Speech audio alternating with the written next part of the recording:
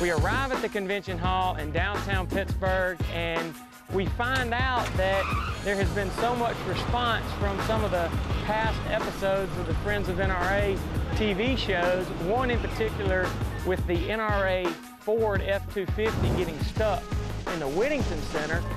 This one's gonna be bad. They wanted the truck on display. The NRA wanted it upstairs on the third floor where people were coming by and would be able to, to see the truck. And it's just, it's a cool truck. I feel fortunate to be able to drive it when I can when Jessie hadn't stolen the keys from me. This is quite an adventure. We just took the truck off of the elevator.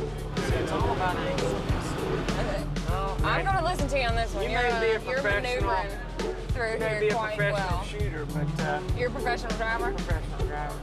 I think the only reason he got it in there so easily was because my co-piloting skills are just top notch. I mean, I just, I was right there. I didn't let him down. I said, you got it over here.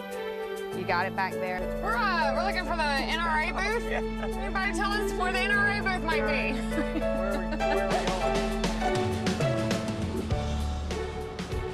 I feel pretty confident in my driving abilities, and I felt like, I, other than the time I got stuck in New Mexico, How's that mud feel? I usually am a pretty good driver, can handle my own in any situation. Not a scratch on it. I got to give you mad props. Really? Yes. Wow. Good driving skill. Thank I got to give it to you. You got I it I didn't have much room to squeeze through the elevator, but we wanted to get it up here in the convention to let everybody see the, the rig that's been driving all over the country and getting the stories and meeting the volunteers all over. So tonight we're going to be at a banquet. We've Here got we go, the NRA auction. banquet, the auction. Um, got some ribbon cutting. Now, if you've never been to an NRA national convention, you need to do yourself a favor and find out where location is for next year and get here because it's an awesome time. We've got the truck set up in the convention, and now we have to head to the NRA banquet to kick off the show.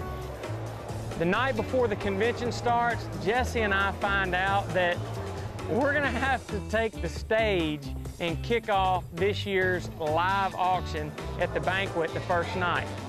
And I gotta tell you, I'm not um, what you would call a great public speaker. And here is our host. Let's give them a big round of applause. Jessie Abbate and Matt Dunn.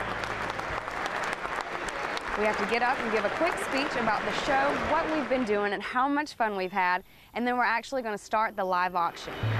Uh, we're- hosts of a TV show, but that doesn't necessarily mean that we're good public speakers. Uh, this was sprung on us last minute, but I got to tell you, I was nervous. Uh, it's been an honor. I may be able to talk a lot, but when there is a sea of people out in front of you and knowing what type of people that was in the crowd, just some, some very influential members of the NRA would travel all over the country and see the selfless attitude and passion that you all have Public speaking just ain't my thing.